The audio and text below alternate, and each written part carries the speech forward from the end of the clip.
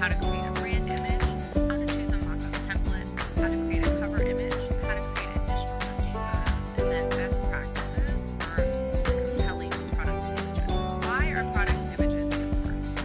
So selling products online is easy, but it requires careful attention to detail. Your customers need to understand exactly what they're getting, and they need to see it in a way that is sort of attractive and makes them feel like, oh, you know, I want that hung up